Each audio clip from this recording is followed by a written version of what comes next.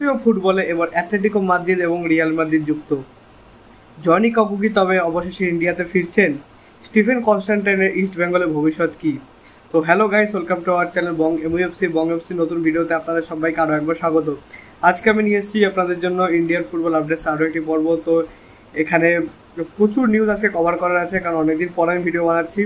তো একদমই দেরি না করে চলুন ভিডিওটি শুরু করা যাক। আমার প্রথমে যেটা বড় আপডেট সেটা হলো আমাদের ইন্ডিয়ান ফুটবলের আপডেট সেই ইন্ডিয়ান ফুটবলে যে কল্যাণ চৌবে নিজে গিয়ে তিনি কিন্তু মিটিং করেছেন অ্যাথলেটিকো মাদ্রিদ এবং রিয়াল মাদ্রিদের কর্ণধারদের সঙ্গে। এবং সেখানে মোটামুটি যেটুকুনি মিটিং মানে আমরা জিস্ট যেটুকুনি পেয়েছি সেটা হলো ইন্ডিয়ান ফুটবলের ডেভেলপমেন্টের জন্যই তারা গেছেন এবং কী কী তারা স্কিম ওখানে তারা মানে তারা স্কিম পাবেন আর কি। মানে কী কী ফ্যাসিলিটি ইউজ করবেন মানে ইত্যাদি এইসবই। সেগুলো কিন্তু এখনও অবধি মানে ডিসক্লোজ হয়নি। আশা করি খুব তাড়াতাড়ি সেগুলো ডিসক্লোজ হয়ে যাবে। এটা কিন্তু বেশ বড় একটা পদক্ষেপ আমাদের ইন্ডিয়ান প্লেয়াররা যদি ইউরোপে গিয়ে খেলতে পারে, বিশেষ করে লালিগাতে তো সেটা কিন্তু একটা বড় ব্যাপার হবে। এখন দেখা যাক কী স্টেপস নেন, সেটা পরের কথা। পরে চলুন সোজা আইএসএলে চলে যাই।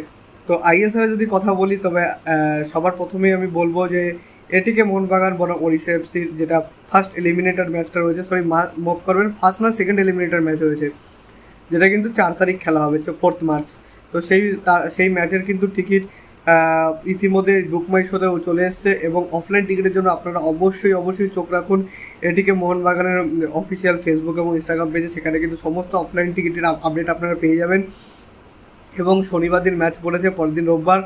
একদম নিশ্চিন্তে আপনারা যান, কারণ ফার্স্ট ম্যাচটা হোম ম্যাচ যারা এটিকে মোহনবাগানে ফ্যান আছেন, তারা মাঠে গিয়ে নিজের দলকে চেয়ার আপ করুন।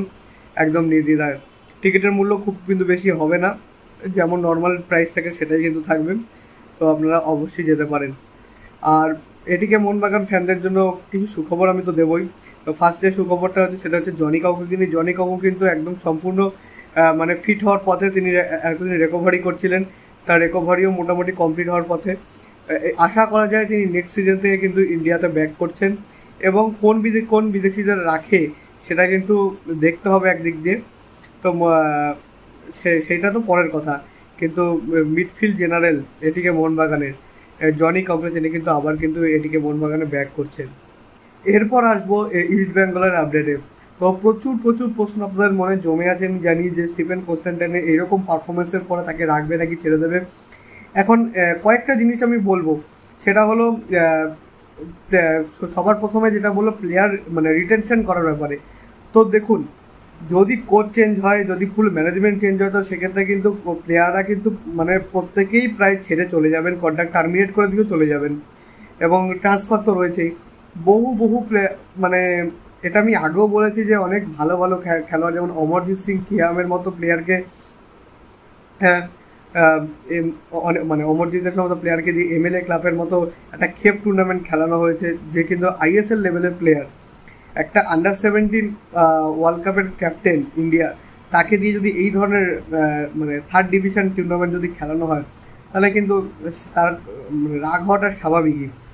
তারপর তারপর অনিকেত যাদব তাকে আনলো, এনে বিক্রি করে দিল। বুঝলাম না ঠিক কী করতে চাইলো ইস্ট বেঙ্গল মানে এই রকমের প্রচুর প্রচুর সিলি মিস্টেক্স রয়েছে, যা কিন্তু এটা শুধুমাত্র দায় মোটেও করছেন না, পুরো ম্যানেজমেন্টের উপরে দায়টা কিন্তু বর্তায়। এরপর আসি যদি কনস্ট্যান্টাইনের ভবিষ্যতের কথা কনস্ট্যান্টাইনের কিন্তু মানে উপর কিন্তু আরও কয়েকটা ম্যাচ দেখবে ইস্ট বেঙ্গল ম্যানেজমেন্ট কারণ মানে পরের মাসে হয়তো এপ্রিল মাসে আসছে কিন্তু সুপার কাপ সেই সুপার কাপে কিন্তু ইস্ট বেঙ্গলও পার্টিসিপেট করতে পারে অবশ্যই প্লে অফস খেলে। তো সেইখানে কিন্তু মানে আন্ডার দ্য মনিটর তার পারফরমেন্সটা দেখা হবে। যে যদি তিনি কনস্ট্যান্টিন ভালো পারফর্ম করেন তো সেক্ষেত্রে তিনি হয়তো তাকে কন্ট্যাক্ট এক্সটেনশন দেওয়া হবে। না হলে কিন্তু ছাটাই হয়ে যেতে পারে। এবার আরেকটা ব্যাপার হচ্ছে, সেটা হলো কি ইমামি থাকবে কি থাকবে না, সেটাও কিন্তু একটা বড় প্রশ্ন, কারণ ইতিমধ্যে নিতু সরকার কিন্তু প্রচুর প্রশ্ন তুলে দিয়েছে দল গঠন নিয়ে এবং প্লেয়ারদের ট্রান্সফার নিয়ে। তো এইসব জিনিস নিয়ে কিন্তু প্রচুর প্রশ্ন উঠছে। তো সেটা সেটাও কিন্তু আরেকটা কথা, কারণ ইমামির জায়গায় যদি অন্য কোনো ইনভেস্টার আসে, তো তারাও কি কনস্ট্যান্টেনকে রাখবে, সেটাও কিন্তু বড় প্রশ্ন। আশা করি আপনারা বিষয়টা ক্লিয়ারলি বুঝে গেছেন যে কি আমি বলতে চাইছি। আর ইস্ট বেঙ্গল কোয়ার্ট থেকে কিন্তু নাওরে মহেশ সিংকে অনেক অনেক অভিনন্দন। তিনি কিন্তু ন্যাশনাল টিমে কল আপ পেয়েছেন। আমাদের নেক্সট যে ন্যাশনাল টিমের ম্যাচটা আছে, সেটার জন্য ইন্ডিয়ার এগেস্টে সরি ইন্ডিয়ার হয়ে। তো তিনি কিন্তু এই সিজনে মোট সাতটা অ্যাসিস্ট করেছেন এবং সেকেন্ড মানে ফার্স্ট ইন্ডিয়ান অ্যাসিস্ট এবং মোট লিস্টে কিন্তু সেকেন্ড পজিশনে রয়েছেন মানে অ্যাসিস্ট লিস্টে তো, অসংখ্য অসংখ্য অভিনন্দন। আশা করি এভাবেই তিনি তার ক্যারিয়ারকে আরও সাফল্যমণ্ডিত করে তো এই ছিল আজকের আপডেট ভিডিও যদি আমাদের ভিডিওটা ভালো লেগে থাকে ভিডিওটা অবশ্যই লাইক করবেন চ্যানেল তুমি চ্যানেলকে সাবস্ক্রাইব করে বেল আইকনটি অবশ্যই প্রেস করে দেবেন। আমাদের সমস্ত ভিডিওর আপডেট এবং নোটিফিকেশন সবার আগে পাওয়ার জন্য। এছাড়া আপনারা আমাদের সোশ্যাল মিডিয়া হ্যান্ডেল ফলো করতে পারেন লিঙ্ক আমি ডিসক্রিপশন এবং ফার্স্ট কমেন্টে দিয়ে রাখব so make sure you must follow them আর দেখা হচ্ছে পরে ভিডিওতে আপাতত bye bye glory glory Man United